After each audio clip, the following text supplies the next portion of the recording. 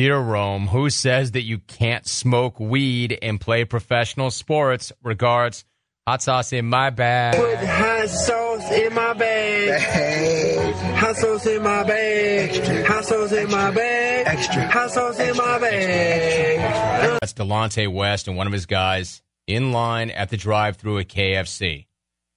An 18-minute wait, according to this YouTube clip, and they were just looking for hot sauce.